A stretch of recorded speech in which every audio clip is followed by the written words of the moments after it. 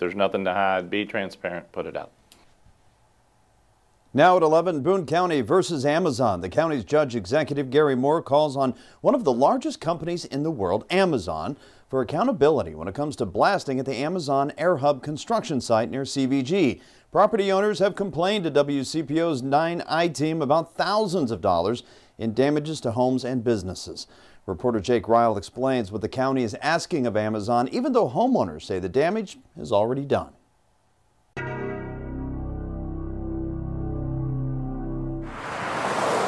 How do you hold one of the most powerful companies in the world accountable? I've been surprised at the level of uh, potential damage that may be caused because of the blasting. Boone County Judge Executive Gary Moore flips through the pages.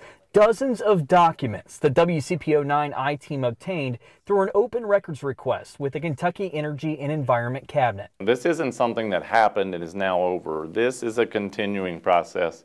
We have a whole summer and fall to get through. We, we need to step it up. They need to step it up and be more responsible. The calls and emails came in by the dozens from August through November of last year. I got a call earlier today from a gentleman down off of Limaburg Road who said that he uh, had a major blast on October on October 4th Moore got seismic data from two of the three blasting companies on site at the Amazon Air Hub. I want to know if I had the reading on what it was.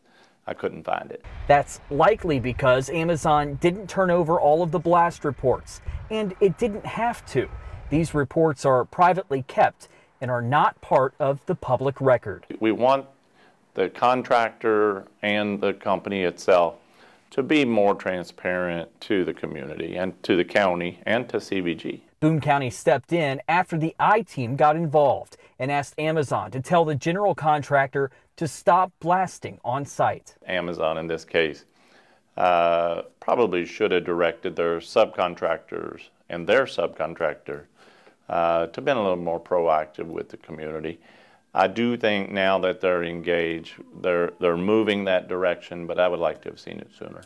This is the worst part.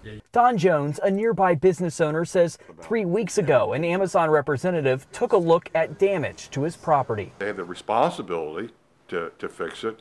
Uh, I, I would uh, think that Amazon would want to be a good neighbor. Meantime, Moore is now asking Amazon to pull back the curtains and create a new website to show property owners all of the blast information. They could post each day's blasting data on the site within a day or two. Moore says he has concerns about the state's regulations. most of what I've found so far, the blasting laws and regulations pertain to coal. And that's a totally different situation than what we're dealing with.